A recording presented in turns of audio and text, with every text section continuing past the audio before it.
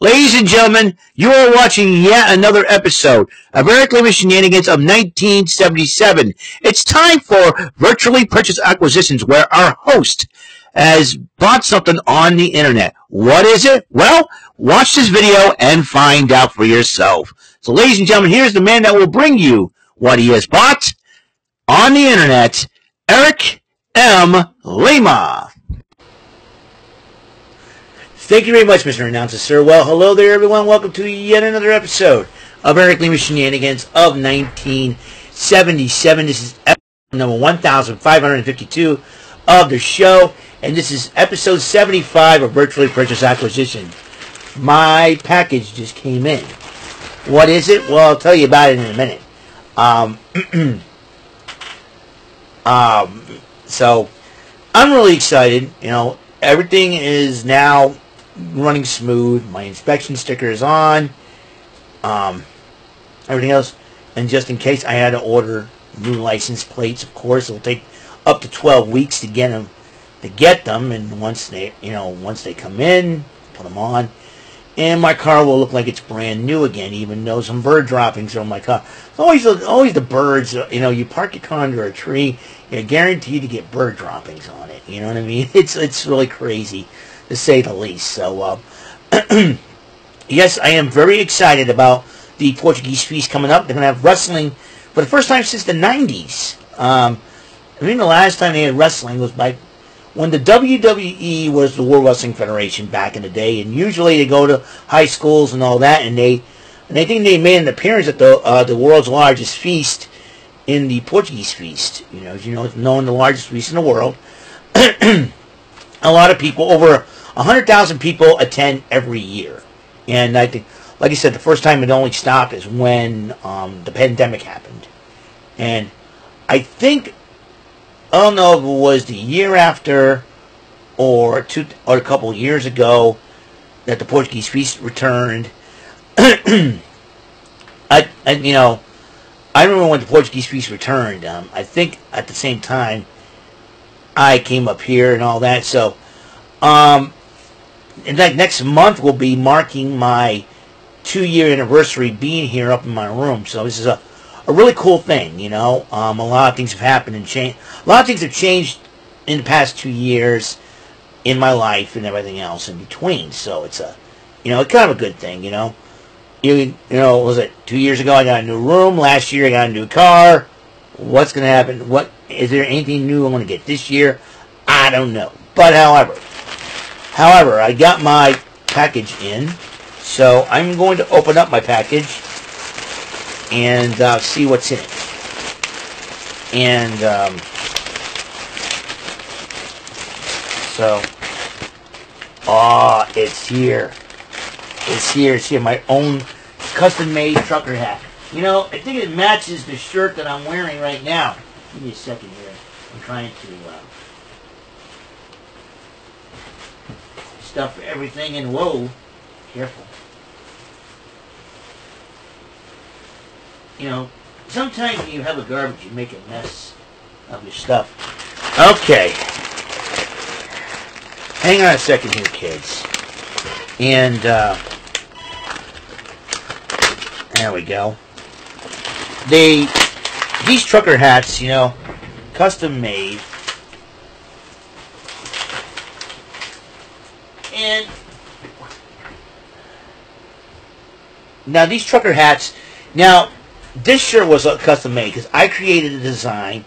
They went with it. So I have decided to give myself my own Marvel vs. Capcom Fighting Collection hat. Put it on. I think I'll I think I'll wear this tonight for rant and rave. What do you guys think? Ah, a little messed up there. That's okay. There we go. Now I can just show and go. look like a geek, you know. People are gonna think I'm crazy doing this, but it, it, look at this. Is really really cool. I gotta wear the hat at the Portuguese feast. I would say, hey, when's that coming out? You know, did you pre-order for it? Yeah, I'll be it. You know, it'll a lot of fun. See, I got the shirt that matches the hat. This is gonna be really cool. Hopefully, it doesn't get too hot like it was at the festival that day. You know what I mean? So, uh, So yeah, I'm totally excited. I got my hat in. I'm look. I'm looking good, ready to go. look at this, really cool, huh? Marvel versus Capcom Fighting Collection. Gotta advertise it somehow. Instead of yakking about it, wear it. You know what I mean? Just look like a total geek here with it on. You know. You know. You know. You know. People will say, "How come you don't?" You know, I was like, "Why you do this? Can you do something like?" You do political shirts? No, I don't do politics. I told you that. That's going to be... If anybody dares ask me that question, I'm going to say, I told you. I don't do political crap. All right? I just go out and vote, and that's it. You know what I mean? And if you want, if you wanted me to tell you who I vote for, you can forget that idea. You know. Anyways, look at this. Got the Marvel vs. Capcom Fighting Collection trucker hat. I got the Marvel vs. Capcom Fighting Collection T-shirt. I'm ready to go. I'm excited. Don't know about you. Now I'm looking forward to only is the release date, the actual release date for the game itself. You know, um, rumor has it it may come out this weekend at the Evo because three of the games will be available to uh, play. I believe um, X-Men Children of the Atom is going to be available to play. X-Men vs. Street Fighter. X-Men vs. Street Fighter and Marvel vs. Capcom 2. Because those are three significant games that kind of started the whole fighting genre and made it better, I believe. So I'm excited. Don't know about you guys. I'm totally excited about this. There's no doubt in my mind. It has been a crazy, you know, crazy month, crazy week, crazy summer, but it's going to get crazier in August when you got the Portuguese feast going on. That's a crazy event in itself. Largest feast in the world, over 100,000 people in attendance. I won't go, I, am not going to be able to go uh, Thursday or Friday because those are work nights. Uh, that's, I'm gonna be, you know, so to speak, you know, like you don't, you know, sleep on a work day the next day, you know, like oh, it's a school night, and when you see a school night, you know, you have to go to bed early and all that, and so Thursday and Friday won't go Thursday night, Friday night, you know, because Thursday night obviously I got the uh, um, rant and rave, um, rant and rave podcast coming up, and um, and everything else in between. So um, a week from today uh, just speaking, uh, speaking of Rant and Rave, a week from today, um, episode 250, we're going to interview Donovan Dijak, former WWE superstar who recently got released, and he's been making the in the indie round. So uh, we're going to talk to him and you know pick his brain a little bit, and um, an honor to meet. It'll be an honor to meet Mr. Dijak himself. I know my friend Joey uh, Fats knows him, so that's a huge deal. So yeah, so we're gonna have a lot of fun. So I'm probably gonna wear this stuff for rant, rant, rant and rave. It's gonna be. I'm looking forward to it. So, uh, yes, sir. Uh, sir. Look at this. I got my hat. Oh man, this is really looking cool. You know, can't wait. you know, I should I should have worn this. You know, and you know I could have. This is really cool. This seriously. So I got the Capcom Fighting Collection. Where is it? Where is it? Ah, there it is. This is the Capcom Fighting Collection. And I got my Marvel Capcom Fighting Collection gear on. All I need is a game like this, and we're good to go. Personally, I can't wait. Because now, my Nintendo Switch could be the best console ever. I think it's the biggest uh, selling console in Nintendo history. While Nintendo consoles, it is something else. So I'm really excited. I'm very happy about that. So I can be just an idiot all day and just sit right here and say thank you all. You know what I mean? But um, however, yeah, things are good. Tomorrow is payday, or you know, that means it's Friday or Friday Yay! getting paid.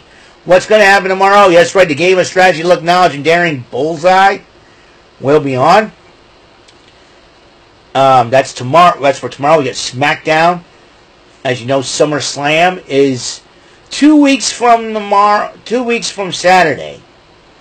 So they better, you know, get some matches going. We only had the World Heavyweight Title be on the line as uh, Damian Priest defends against the 2024 King of the Ring winner the Ring General Gunther. It's going to be a lot of fun, that matchup. Uh, also, the uh, WWE Women's title being on the line as Bayley defends that against the 2024 Queen of the Ring, Nia Jax. Then you got the women's world title on the line, Liv Morgan to defend against Rhea Ripley. And then rumor has it that Cody Rhodes may defend the, the undisputed WWE title against the self-proclaimed new tribal, the Bloodline, Solo Sikoa. This is going to be an interesting situation to say the least, and we're going to have a lot of fun. So, that being said, then on then you got NXT, you know, dealing with TNA wrestlers coming in. Not only that, some newcomers may be coming in pretty soon. Giulia and Stephanie Vaquer are on their way, and it'll only be a matter of time. You get the Great American Bash coming up, and everything else. So, and uh, you got No Mercy, you got Halloween Havoc. Those, you know, those events could be very important. Who goes where?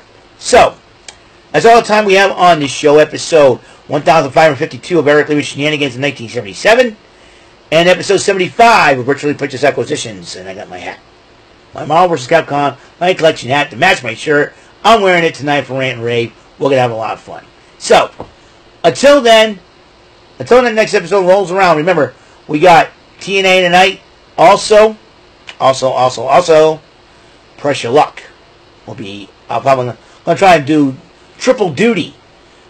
Hub host Rant and Rave, watch some Press Your Luck, and watch some TNA on my tablet. So, that being said, thank you for tuning in for this episode of Eric Lima Shenanigans 1977. Until that next episode comes rolling around, Mr. Announcer, take us home. That is all for today's episode. This is your announcer speaking for Eric Lima Shenanigans of 1977. A Big Beefy E, doing for Bob Saget Productions, and in association with Raven Bofa Telepictures and Distribution. Thank you for watching today's episode. Tune in next time for another episode of Earthly Shenanigans of 1977. Goodbye for now.